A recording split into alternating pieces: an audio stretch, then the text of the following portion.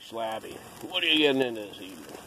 Well, I'm doing some Delmonico's on the grill. Three of them there. Pretty good thick ones here. They're about an inch thick. Uh, we got some asparagus and cheese sauce in the house. We were going to do au gratin potatoes, and we decided we'd do some uh, baby portobello mushrooms and cream sauce instead.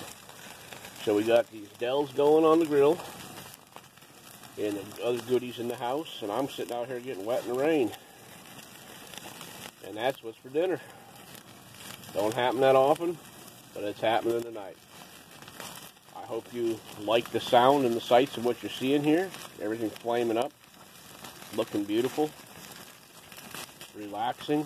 Flip this little bugger over here, get a little char on her. There we go. Now we're cooking beef.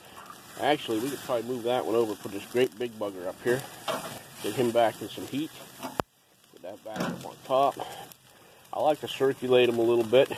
I, when this end right here, see that end right there? See it both? When that end right there is no longer pink, that means these steaks are done. That's how I time them. All right, we'll talk to you later. The sizzling sound of Dells in the rain on the grill. Talk to you later. Bye.